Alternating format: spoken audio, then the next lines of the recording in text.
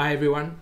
I want to read from Matthew 13, verse 13, where Jesus says, Therefore I speak to them in parables, because seeing they do not see, and hearing they do not hear, nor they understand. For the hearts of this people have grown dull, their ears are hard of hearing. Growing up, I remember very clearly how my father used to struggle to hear. He was in the war, Second World War, and he was involved in a landmine incident, so he was blown up. He was badly wounded, and uh, his hearing was impaired.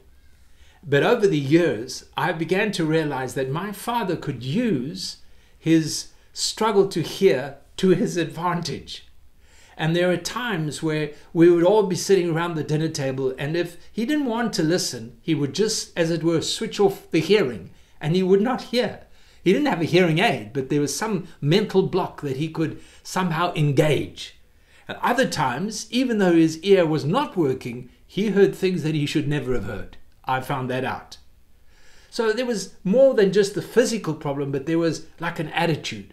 And you know, as Christians, we can be in the same state. We can become hard of hearing. We allow a situation to harden our hearts. We allow an attitude. We allow our doctrinal understanding.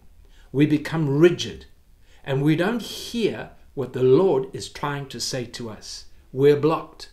We need to learn to keep our hearts open to hear. It's not a physical thing, but there's an attitude of heart that is very important.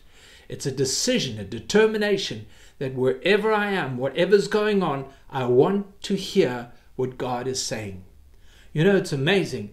Growing, when we've had young children growing up, we can go and visit somebody and there may be a few families there and you end up with i don't know 10 12 children and they're running in the garden and they're playing and they're screaming and having great fun and then one of them will fall down and hurt themselves and they will cry.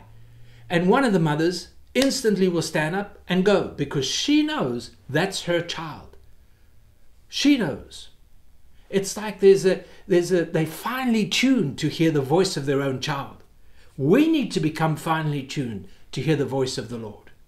Through all the activities of life, all the situations that you will face today and tomorrow, it's so easy to just switch off and just plod on instead of realizing we need to have a heart that is looking to God to speak, to hear what God is saying, to hear His voice.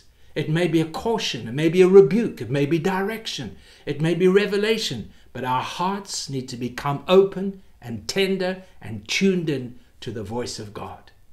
God bless you today.